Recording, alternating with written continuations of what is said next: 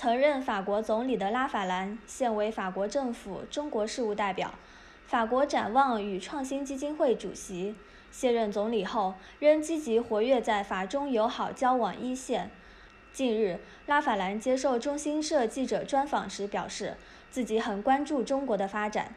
过去七十年间，中国取得的发展成就给人留下十分深刻的印象，令人着迷。Un développement fascinant, extraordinaire, impressionnant. Ce qui est le plus impressionnant dès le début, c'est la vitesse d'exécution. En 2020, je vais fêter mes 50 ans de Chine. Je suis donc un observateur euh, attentif de la Chine. Le développement des villes, par exemple, a été formidable. J'ai vu Shenzhen être un petit village et je vois cette métropole aujourd'hui technologique s'imposer comme une des villes les plus modernes du monde. J'ai vu ces transformations.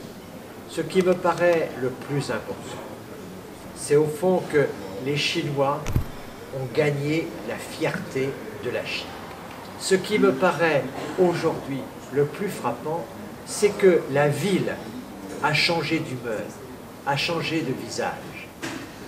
拉法兰表示，中国在气候变化巴黎协定上表现出的态度令法方高度赞赏。他很高兴看到中国在注重城市发展之余，还致力于构建人类命运共同体。拉法兰尤其注意到，中国提出的一带一路倡议具有深远意义。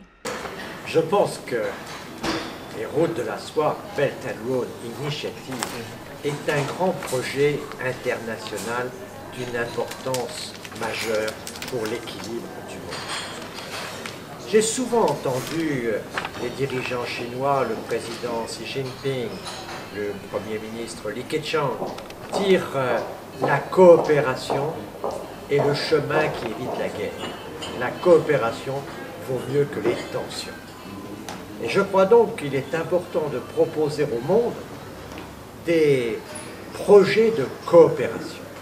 Et pour moi, les routes de la soie, que ce soit la ceinture ou que ce soit la route, sont des projets de coopération internationale. Cette ambition est forte et de mon point de vue positive. 拉法兰表示，中国国家主席习近平今年三月到访巴黎，有着极为重要的意义。他认为，欧盟和中国之间的合作正朝着正确的方向前进，合作的步伐亦正在加快。这意味着欧中合作将上升到一个新的高度。La rencontre de Monsieur Xi Jinping avec Monsieur Macron, mais aussi Madame Merkel et Monsieur Juncker ont donné le sentiment véritable qu'il y avait une nouvelle étape qui s'annonce, qui est une étape de coopération renforcée entre l'Europe et la Chine. Et je suis heureux de voir que Madame Merkel, après son voyage récent en Chine, prépare avec le président Macron le rendez-vous au deuxième semestre 2020 où le président Xi Jinping rencontrera tous les chefs d'État euh, de l'Union européenne. Cette coopération est en train de s'accélérer, ça va dans la bonne direction. Le voyage et la visite d'État que va faire le président Macron euh, au mois de novembre en Chine pour assister à la grande foire des importations sera, je pense, une étape décisive de cette nouvelle mobilisation.